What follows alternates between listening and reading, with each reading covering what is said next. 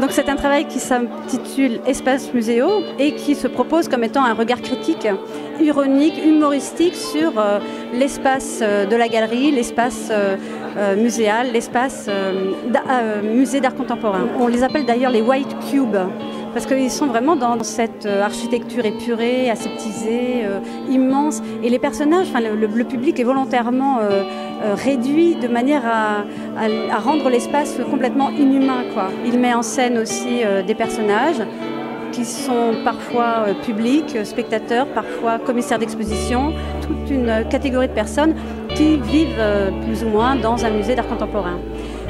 ces personnages aussi sont en relation avec les œuvres. Alors ce sont des œuvres qui sont, on va dire, souvent un peu caractéristiques de ce qu'on pourrait imaginer trouver dans un musée d'art contemporain. Donc on se trouve face à une photographie qui s'intitule Expérimenter l'espace public, effectivement qui met en scène euh, un personnage, un, visiteur qui se plie déjà en deux euh, et qui a déjà une attitude assez, euh, assez curieuse quoi, pour regarder le, cartel qui présente la photographie.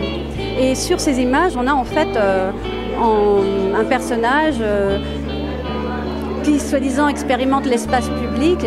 En fait, on a quelqu'un simplement qui a des attitudes un peu, burlesques, euh, qui s'amuse d'un Porsche euh, ou euh, d'un coin de mur, voilà quoi.